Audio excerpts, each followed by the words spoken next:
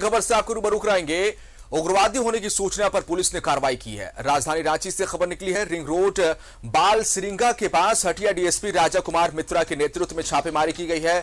धुरवा थाना Tupudana OP police और SSP की स्पेशल टीम की संयुक्त छापेमारी देखने को मिली है। पीएलएफआई के उग्रवादी राजू गोप के मौजूद होने की सूचना पर छापेमारी की गई है। पीएलएफआई उग्रवादी बचकर भागने में कामयाब रहा। भारी मात्रा में हालाँकि हथियार और गोली बरामद होने की सूचना मिल रही है। एक कार भी बरामद की गई है। तो गुप्त सूचना के आधार पर पुलिस ने कार्रवाई की है। पीएलएफआई उग्रवादी राजू गोप के मौजूद होने की सूचना पुलिस को मिली थी।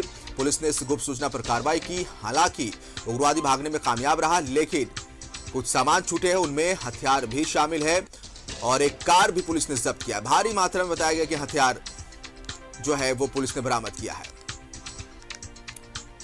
सहयोगी इमरान फ़ोन लाइन पर इमरान, एक उग्रवादी के होने की सूचना मिली थी। कार्रवाई की गई है। क्या कुछ जानकारी मिल रही है?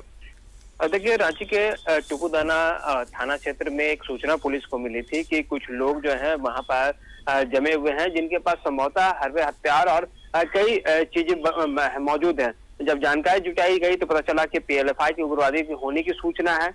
इसी सूचना पर जब पुलिस ने कार्रवाई की और छापामारी की गई। हटिया डीएसपी के नेतृत्व में धुरवा पुलिस, टुकुदाना की पुलिस और डीएसपी के नेतृत्व में स्पेशल टीम का भी गठन किया गया था। टीम जब वहाँ पे पहुँची तो कई लोग वहाँ पे मौजूद थे जो भागने में सफल रहे।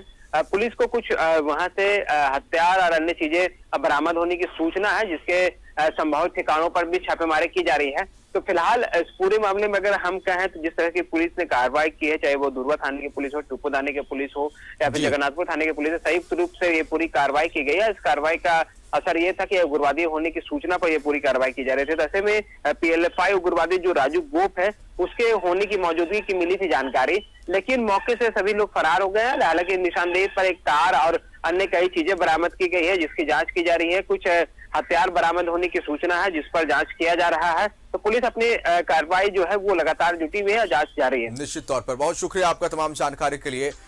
पुलिस की कार्रवाई लगातार जारी है और यही है कि कामयाबी अभी पुलिस को मिल रही है।